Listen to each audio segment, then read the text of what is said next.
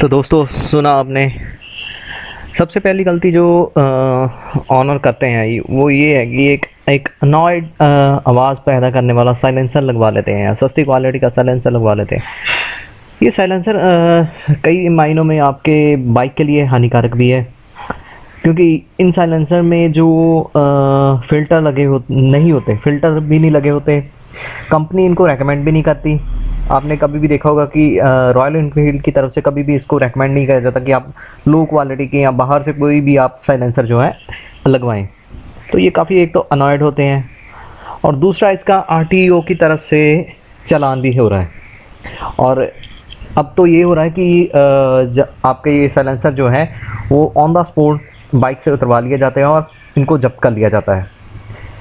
तो इनकी आवाज़ से बच्चे, बूढ़े और अब हमारी यूथ यूथ भी काफ़ी आजकल इससे जो है डिस्ट्रैक्ट होता है या इससे अनॉय हो जा अनॉयड हो जाता है क्योंकि ये काफ़ी ज़्यादा आवाज़ अनॉयड आवाज़ पैदा करते हैं। आपने देखा ही होगा जैसे कि आपने वीडियो में सुना है कि कितनी मतलब कि जिसको कहते हैं कि अलग सी आवाज़ प्रोड्यूस कर रहे हैं और काफ़ी ज़्यादा खींच पैदा हो रही है इस इस आवाज़ से। तो दोस्तों ये सबसे पहली जो गलती है, हमारे काफ़ी सारे ऑनर जो हैं बाइक के करते हैं, ये अपना साइलेंसर जो है, वो चेंज करवा देते हैं। लेकिन कंपनी की तरफ़ से कभी भी सही नहीं कहा जाता चेंज करवाने के लिए। अगर आपने कभी भी चेंज भी करवाना है तो रेकमेंड जो कंपनी कर रही है, जो कंपनी की तरफ़ से रेकमेंड किया जा रहा है साइलेंसर उसी को अपनी बाइक में लगवाएँ। अदरवाइज़ आपके इंजन पर भी इसका असर होगा। सस्ते साइलेंसर से आपकी एग्जॉस्ट फ्री फ्लो जो है, और जो होगी, वो भी नहीं होगी। और आपके कैटलिक कन्वर्टर जो है, वो भी इसमें बाइक सस्ते जो साइलेंसर होते हैं, उनमें नहीं होते। सो सिर्फ़ एक आवाज़ के लिए अपने इंजन को ख़राब कर लेना बाइक के, ये मैं सोचता हूँ कोई बड़ी बात जिसको कहते हैं, कोई सोचने समझदारी वाली बात नहीं है। सो इसे थोड़ा सा सोचें और अपनी बाइक में ऐसे जो साइलेंसर हैं, उन्हें ना लगवाएँ। तो दूसरी जो सबसे बड़ी गलती है, हमारे बाइक ऑनर करते हैं वो है सस्ती क्वालिटी के अलॉय लगवा लेना। आपने देखा होगा कि आ, मार्केट में अलग अलग स्टाइल के अलॉय जो हैं अवेलेबल हैं। क्योंकि हमें कंपनी की तरफ़ से अलॉय नहीं मिल पाते तो हम क्या करते हैं कि मार्केट में जो भी अ, सस्ती क्वालिटी के अलॉय अवेलेबल हैं लेकिन वो दिखने में बहुत ज़्यादा फैंसी या अलग से मतलब काफ़ी अट्रैक्टिव लगते हैं। वैसे अलॉय हम अपनी बाइक में लगवा लेते हैं। तो ये अलॉय क्या करते हैं? ये अलॉय एक तो इनकी क्वालिटी काफ़ी घटिया होती है, जिसकी वजह से आपकी बाइक के रनिंग टाइम पे, इन अलॉय की वजह से आपके बाइक के टायर के फटने का डर जो है, वो ज़्यादा बढ़ जाता है। अब अलॉय लोअर क्वालिटी के हैं तो ये भी पॉसिबिलिटी है कि आपकी बाइक जो है रनिंग टाइम पे आपका अलॉय ही टूट जाए, आपका रिम टूट जाए, आपकी टायर की हवा लीक हो जाए। सो ये काफ़ी ख़तरनाक होता है कि आप जो है सस्ते या सिर्फ़ फैंसी दिखने के लिए अपनी बाइक को मॉडिफाई कर लेते हैं। तो अगर आपने कभी भी अलॉय लगवाने भी हैं तो आप सर्टिफाइड ओईएम रिम का ही इस्तेमाल करें।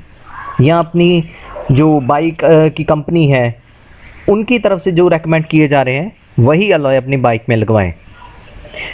इससे एक बात और भी होती है कि आपकी जो इंश्योरेंस है इंश्योरेंस की कंपनी है, आपकी वारंटी है वो इसे भी ख़त्म कर सकते हैं वाइड कर सकते हैं, अगर आपने अपनी तरफ़ से, अपनी मर्ज़ी से जो है अलॉय चेंज करवा लिए हैं तो। या रिम को अगर आपने चेंज करवा लिया। तो सो सबसे बढ़िया बात यही रहे, रहती है कि आप अपनी कंपनी से ही बाइक की कंपनी जो बाइक की कंपनी है, उससे कांटेक्ट करें, उनसे बात करें कि कौन सा जो है अलॉय लगवाना चाहिए या रिम जो है अपनी बाइक में चेंज करवाना चाहिए। सो उनकी रिकमेंडेशन इसमें ज़रूर लें। और तीसरी सबसे बड़ी जो गलती करते हैं वो करते हैं प्रेशर हॉर्न लगवा लेते हैं। आपने देखा होगा कि यूथ आजकल काफ़ी तेज़ हॉर्न या आवाज़ पसंद करते हैं। वो लेकिन वो ये भूल जाते ये जल्दी भूल जाते हैं कि ये व्हीकल एक्ट के मुताबिक मुताबिक ज़्यादा आवाज़ करने वाले हॉर्न भी लगवाना गैरकानूनी है। सो so, जब भी ऐसी बाइक्स जो हैं वो सड़क पर निकलती हैं तो एक तो उनके जो हॉर्न है वो आरटीओ की तरफ़ से बैन बैन कर दिया जाते हैं। मतलब उनको उतरवा दिया जाता है ऑन द स्पॉट ही। और इन हॉर्न को यूज़ करने पर बाइक ऑनर को काफ़ी ज़्यादा जो है फाइन पे करना पड़ता है। सो so, ये गलती कभी भी ना करें। आपकी बाइक में जो हॉर्न लगे हैं वो कंपनी ने प्रॉपर जो गवर्नमेंट की तरफ़ से गाइडलाइंस है उनके अकॉर्डिंग ही लगाए हैं। आपको सफिशेंट है, उसकी आवाज़, आपको उससे ज़्यादा आवाज़ के जो हॉर्न है, वो लगवाने की ज़रूरत नहीं है, क्योंकि आपकी बाइक में वैसे भी इसकी वजह से इलेक्ट्रिकल जो है वायर्स का इलेक्ट्रिकल वायर जो है, वो आपकी स्पार्क कर सकती हैं या वो फेल हो सकती है, आपकी बैटरी फेल हो सकती है इन हॉर्न की वजह से। सो वो आप ध्यान रखें, ऐसे हॉर्न जो है, वो अपनी बाइक में ना लगवाएँ। और चौथी सबसे बड़ी जो गलती करते हैं वो है, कि क्रैश गार्ड जो जिसको हम कहते हैं या जिसको कहते हैं लेग गार्ड कह देते हैं हम वो जो है वो हम बढ़िया क्वालिटी के लगवाने की बजाय हम सस्ती क्वालिटी के लगवा लेते हैं। तो इसमें ध्यान रखें कि सस्ती क्वालिटी के दिखने में ज़रूर जो हैं वो लगते हैं कि सेफ़ होंगे लेकिन जब कभी भगवान न करे एक्सीडेंट हो जाए तो ये ज़्यादातर आपको नुकसान ही पहुंचाएँगे।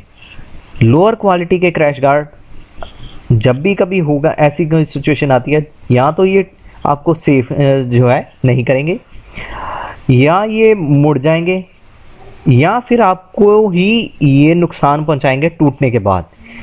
ये ऐसे क्रैश गार्ड होते हैं जो खुद ही टूट जाते हैं सस्ती क्वालिटी के और अपने ऑनर को ही नुकसान पहुँचा देते हैं। सो so, जब कभी भी आपने लेग गार्ड लगवाने हैं वैसे तो मैं आपको रेकमेंड करूँगा कि आप लेग गार्ड हमेशा ही लगवाएँ। जब भी आप बाइक लें तब उस पर सबसे पहले लेग गार्ड ज़रूर लगवा लें। तो इनसे क्या होगा कि आपको एक अच्छी क्वालिटी के लेग गार्ड से जब भी कभी ऐसी सिचुएशन आ जाती है आपकी बाइक स्लिप कर जाती है तो आपकी जो है सेफ्टी ही होगी। ना तो ये आपको नुकसान होने देगा आपके पैर को कोई नुकसान नहीं होने देगा।